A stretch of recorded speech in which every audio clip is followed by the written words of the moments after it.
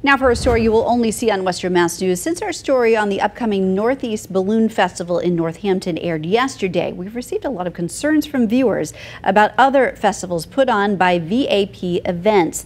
That's the event group associated with the Northeast Balloon Festival. Western Mass News brought you your concerns back to the festival director. Audrey Russo joins us now with the response from that person. Beth, within the last 24 hours, we've received complaints from viewers around New England about the various food festivals and balloon fairs put on by VAP events, including one from a venue who hosted them in New Hampshire last year. And we were also led to believe, like, for instance, there was going to be balloons there um, all day.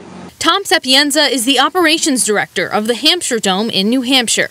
Over video chat, he tells Western Mass News that his venue has spent the last year trying to recover their reputation after hosting the VAP event Northeast Balloon Festival last year. What happened the first day was all the balloons took off early in the morning and then they don't come back till late in the day. Many, but not all, on social media claim they missed the balloons too, painting an unequal picture of the experience depending on what time people arrived. Our schedule is displayed on both our Facebook event and on our website. The festival director who's bringing a similar event to Northampton next week says they're making things more clear on their marketing. She says that they're planning activities to do in between balloon launches and in case weather prevents the tethered balloon activities from happening. Amusement rides, the petting zoo, and a lot of the other activities that we have planned are new because that is something that we again learned from last year is that you know during the day between you know 10 a.m. and 4 p.m.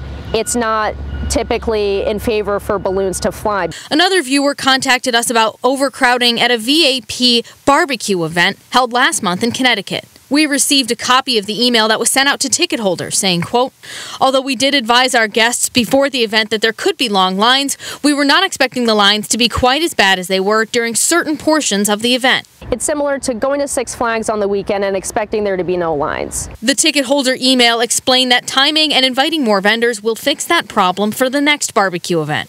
But it calls reports of them running out of food a misconception. One or two food vendors running out really is just something that can happen. It doesn't seem as though you guys have held one event at the same place mm-hmm. a second time. We were consistently communicating about any issues that arose, whether it had to do with trash or parking. We're looking to always provide solutions to the issues that we hear about from guests because we really just want the guests to be happy. Right now, Parslow says she's expecting 30,000 people to come to the Northampton Balloon Festival. We have reached out to Nor Northampton safety officials to see how they plan to accommodate that much traffic coming into the city. They did not get back to us in time for this broadcast. Reporting live in studio, Audrey Russo for Western Mass News.